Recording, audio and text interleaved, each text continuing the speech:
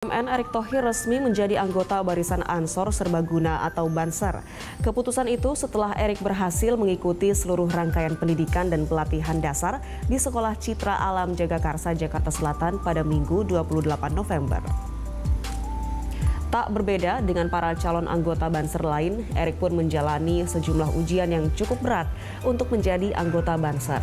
Latihan tersebut dimulai dari jalan jongkok dan merayap, mencari baret hingga meneriakan yel-yel. Menurut Kepala Satuan Koordinasi Nasional Banser Hasan Basri Sagala yang bertindak sebagai pembina upacara melantik Erik sebagai anggota Banser. Erik disebut bersemangat dan tidak ingin kalah dengan puluhan calon anggota Banser lain.